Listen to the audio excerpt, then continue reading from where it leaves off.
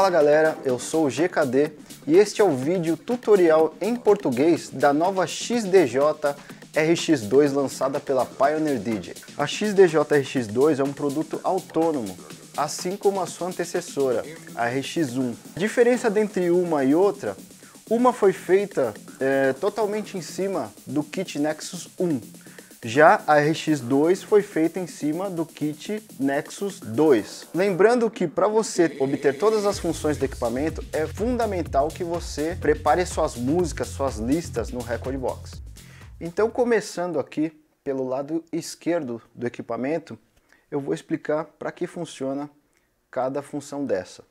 A primeira aqui de cima, ela serve para quem gosta de usar por exemplo, notebook, você pode conectar um cabo de rede e ter acesso a todos os seus playlists utilizando o software Recordbox.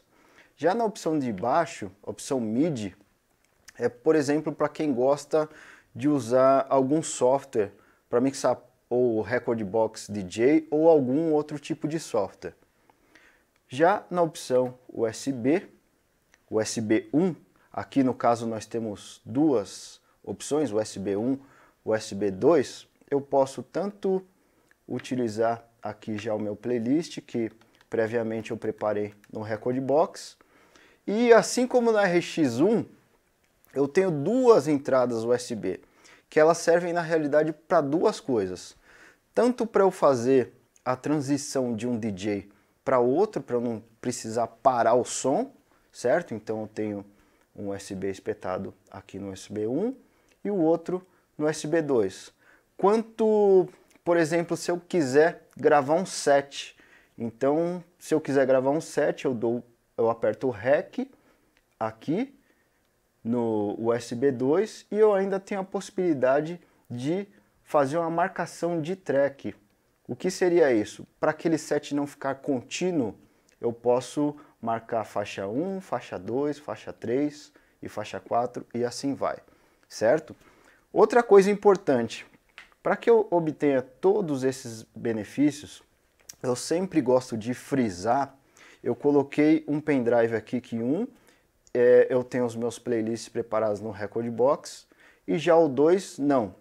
Então, caso você tenha o equipamento e não tenha o acesso a todas as informações da música, provavelmente o que aconteceu é que você não preparou as suas músicas no Recordbox. E caso você tenha feito isso, repare que assim que eu acessar o meu pendrive 2, a primeira coisa que o equipamento vai fazer é me avisar que para eu ter um desempenho melhor com o equipamento, eu preciso preparar as minhas músicas no Recordbox. Certo? Então, aqui embaixo eu tenho a opção Time Mode e Auto Kill. Então eu posso deixar em contagem progressiva, contagem regressiva. Aqui eu tenho a opção de Quantize. Para que, que serve essa função Quantize acionada? Ela é muito importante para quem usa loops, ok? Porque é praticamente impossível a gente fazer loops no tempo perfeito da música. Então, assim que você preparar suas músicas no Recordbox, tiver feito a lição de casa, o seu beat grid estiver todo certinho, quando você aciona a tecla Quantize, ele respeita a grade da música para que você possa fazer loops perfeitos, ok? Então, vindo aqui em cima, eu tenho a opção Browse, certo? Para você ter acesso ao seu playlist. Então, eu carrego por aqui, uma outra faixa. O browser eu posso acessar de duas maneiras. Ou eu aperto aqui, certo? Carrego outra faixa. Ou eu aperto o back aqui e ele vai voltar para o browser. A opção tag list é para que no caso, vamos supor que eu tenho uma lista muito grande e que eu queira, por exemplo, simplesmente taguear algumas faixas daquela lista gigantesca. Então a opção tag list serve para isso. Já a opção info, ele vai te dar a informação daquela faixa que tiver selecionada, no caso. Aqui eu tenho o menu utility para que você entre nas configurações do equipamento. Inclusive aqui no final você tem a versão do firmware para saber se ele está atualizado ou não. E aqui eu tenho um browser muito parecido com o que é o browser do CDJ 2000 Nexus 2. Então, se vocês repararem, ele é idêntico, é o mesmo, certo? Então, aqui eu tenho o back, aqui eu tenho o tag list, a opção de selecionar músicas para o tag list e removê-las. Aqui eu tenho opções de é, pequenas configurações, se eu quiser deixar o meu display é, somente azul ou colorido, eu posso mudar o valor do meu quantize, dentre outras coisas. Aqui agora eu tenho como editar as minhas faixas relacionadas, que antes só era possível pelo software. E aqui abaixo do browser eu tenho a opção de qual canal que eu vou selecionar a minha faixa, que eu vou carregar a minha faixa. Então agora vamos falar sobre os decks. Se a gente reparar, os decks são iguais, assim como qualquer controlador ou CDJ. A diferença é somente na parte superior. Nós temos o play, nós temos o kill, onde a faixa volta para o ponto inicial. Então aqui nós temos os pads e a diferença da XDJ RX para XDJ RX2, que agora nós temos oito pads de cada lado, certo? Então a primeira opção aqui que nós temos é a de Hotkey. A segunda é de Beat Loop. Então eu posso fazer um loop aqui, é, clicando um pad, que ele vai me fazer um loop, por exemplo, de oito de oito tempos certo? 4, 2, 1, meio, um quarto, um oitavo e um dezesseis.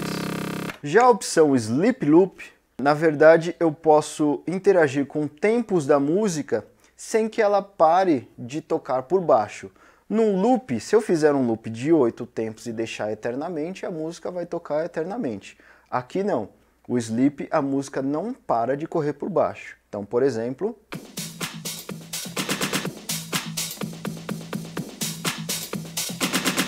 Então repare que a música não para. Ok? Já na opção Beat Jump, eu posso pular alguns beats da música. Então aqui, ó, pulei oito tempos, voltei quatro,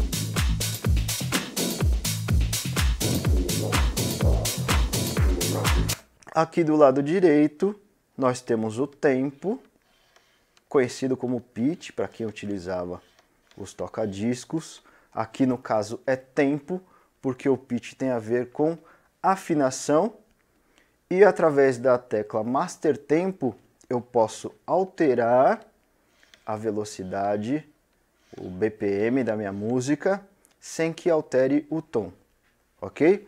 Então aqui eu tenho os valores de tempo, de porcentagem de tempo, que seria 10%, que ele marca aqui no display,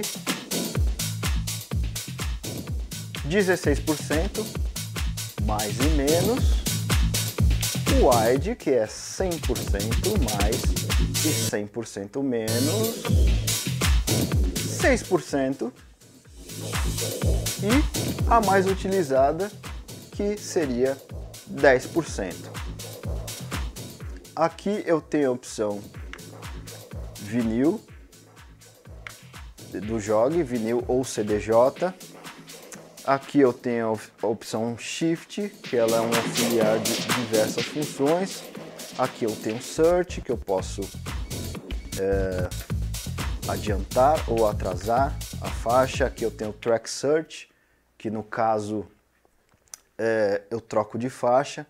É muito importante é, ressaltar que para quem usa Hotkey, não carreguem as músicas pelo Track Search. Então para você carregar os seus hotkeys que você já fez no Recordbox, sempre carregue suas músicas aqui pelo browser, ok? Porque assim ele carrega o seu hotkey automaticamente. Se você mudar pelo Track Search, ele vai carregar a sua música, mas não vai carregar o seu hotkey automaticamente, ok? Então aqui eu tenho a opção Sleep, assim como o Sleep Loop aqui, o Sleep serve para quê? Para que eu possa interagir com a música sem que atrapalhe no andamento natural da música por baixo, ou seja, ela não para de correr por baixo. Então, se eu acionar, por exemplo, um reverse, um vinyl break, a música vai continuar do ponto que ela estava. Então, eu vou dar um exemplo aqui. Vou acionar o sleep junto com o reverse. Então, repare que a música não para de correr por baixo. Por exemplo, com o vinyl break.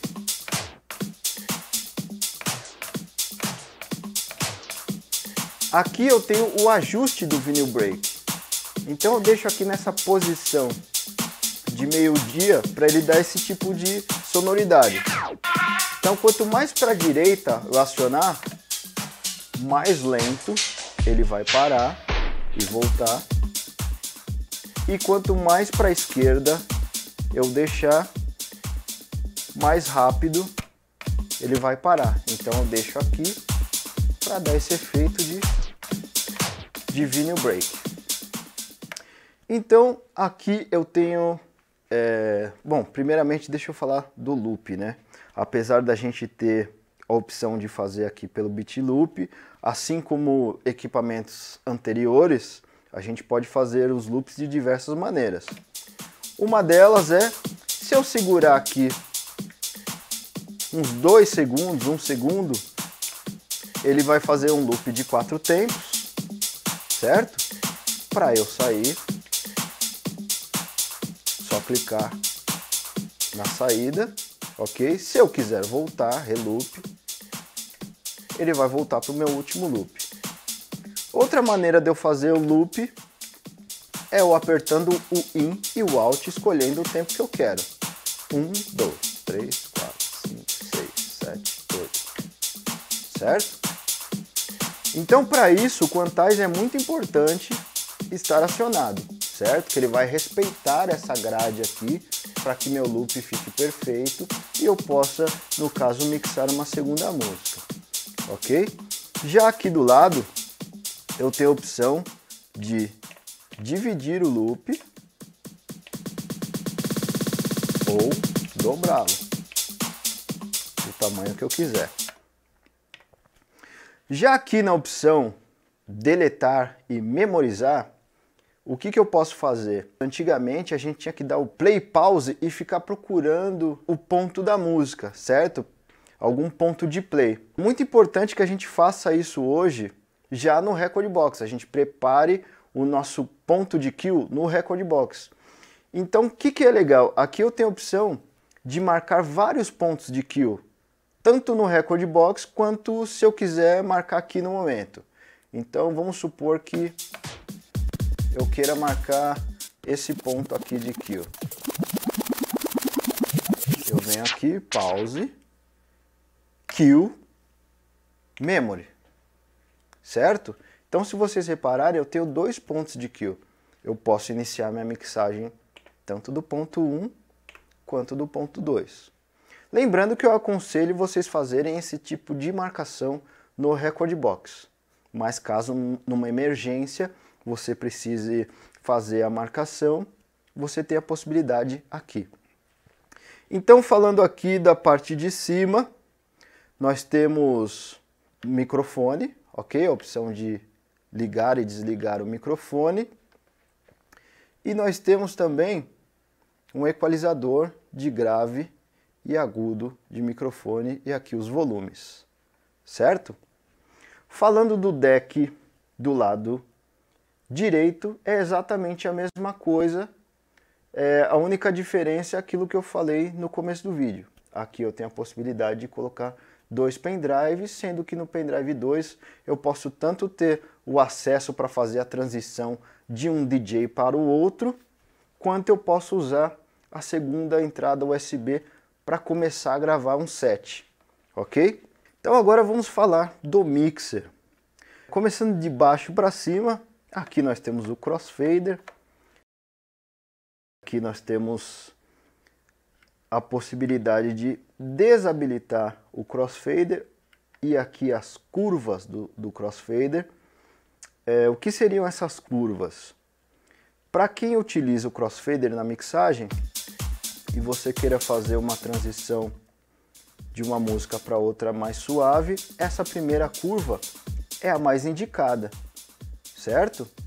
Já a segunda curva, reparem que com o mínimo de volume, o som abre 100%.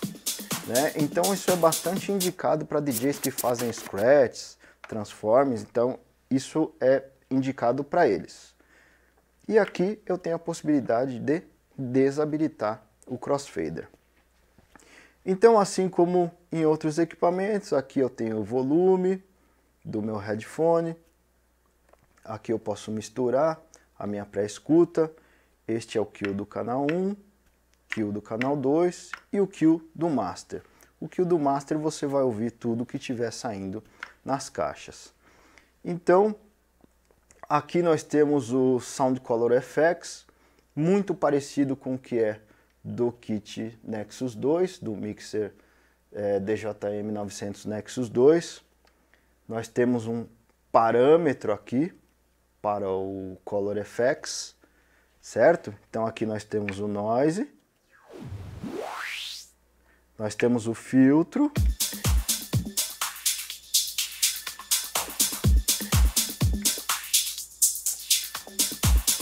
temos o Dub Echo, Sweep, e aqui nós temos os parâmetros.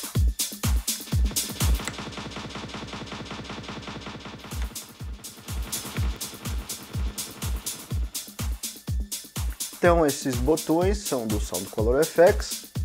Já aqui nós temos o equalizador de três bandas, grave, médio, agudo e ganho.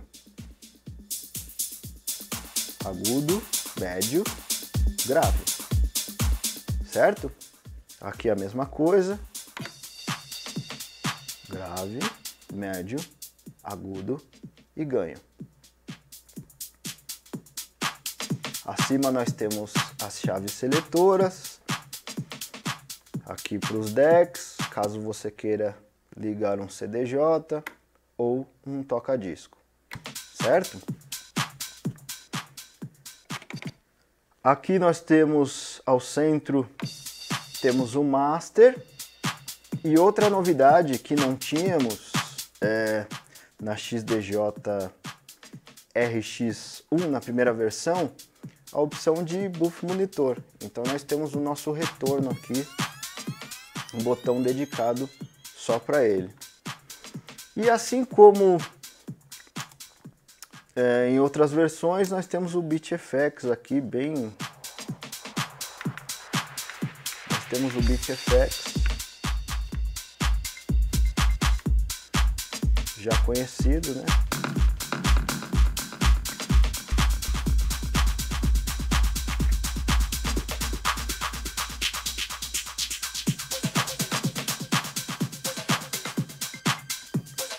Então aqui nós temos efeitos que já vinham na XDJ RX1. E outra coisa importante lembrar aqui nesse review, que eu esqueci de falar aqui nos decks, que a gente tem a opção de sync, ok? Então este foi o vídeo tutorial em português da XDJ RX2. Lembre-se que para você ter o melhor desempenho desse tipo de equipamento, tanto a 1 quanto a 2, é fundamental que você prepare as suas listas no Recordbox. Eu vou deixar aqui nas descrições do vídeo a série de vídeos que eu fiz sobre o Recordbox, tanto performance quanto DJ. E lá eu estou explicando tintim por tintim, passo a passo, como você preparar suas listas, ok? Então se você gostou do vídeo, compartilhe e não se esqueça de se inscrever no nosso canal.